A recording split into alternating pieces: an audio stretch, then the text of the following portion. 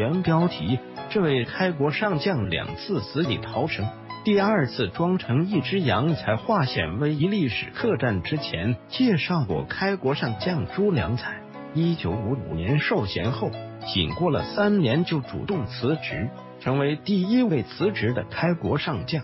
朱良才虽然是正宫出身，但在革命生涯中也曾数次历险，多亏有贵人相助，才死里逃生。一九二七年马日事变后，国民党反动派大肆抓捕革命群众。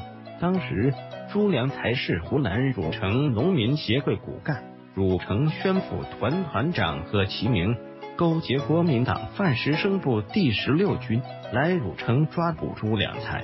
朱良才的农民武装都是大刀长矛，装备太落后，在第十六军的强大攻势下，很快就瓦解了。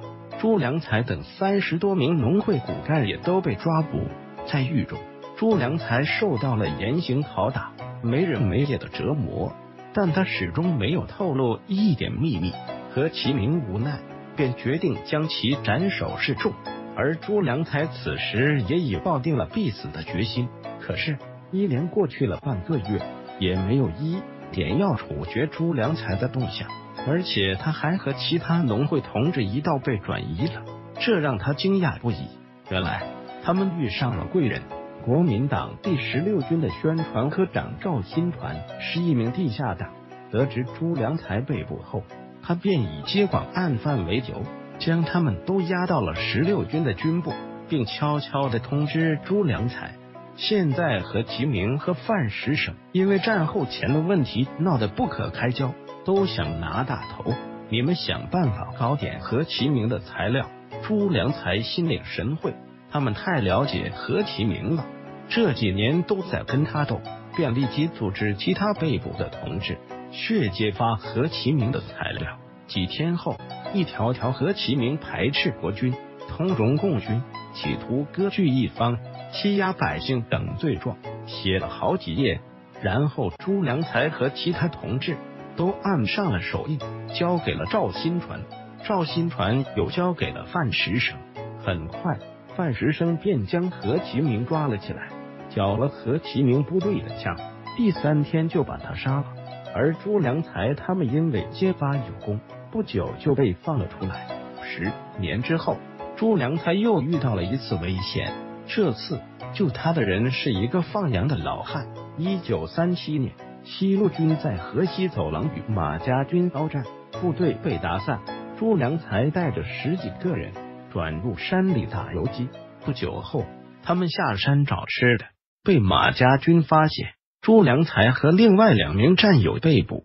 在过一道土坎时。压着他们三人的马匪准备休息一下，就在他们放松时，朱良才向另外两名战友使了一个眼色，分不同方向向旁边的密林钻去。敌人一着急，不知道追哪个好。等他们摘下枪向三人射击时，三人早都跑进了密林。第二天早上，朱良才小心翼翼的出了密林，在一个老乡家里换了一身衣服，沿途乞讨。寻找红军部队。这天下午，朱良才肚子饿，看见前面有一个村子，想去找点吃的。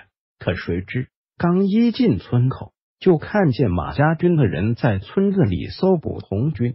朱良才立刻转身往回走，可没走多远，前方烟尘四起，又来了一队马家军。这是一片开阔地，无处躲藏。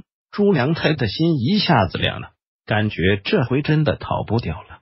就在这时，他身后传来一阵咩咩的叫声，回头一看，一个老汉正赶着一群羊过来。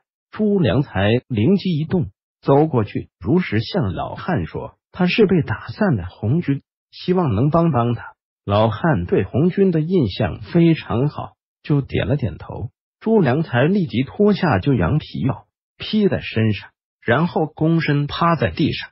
老汉也心领神会，迅速把杨向朱良才聚拢，把他严严实实的围了起来。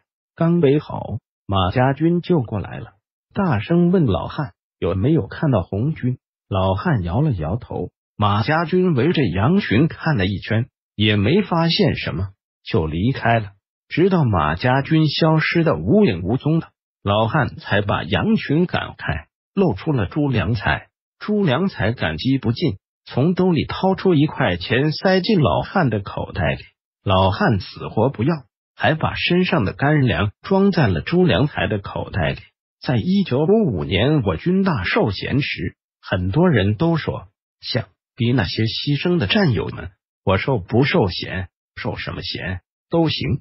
看看朱良才的这两个故事，确实如此。能活下来，继续为人民服务，就已经是最大的幸事了。历史客栈作者荒沙有趣味、有思维、有品味的三位历史，请关注微信公众号 m a s h a o h u a 幺零八，返回搜狐，查看更多责任编辑。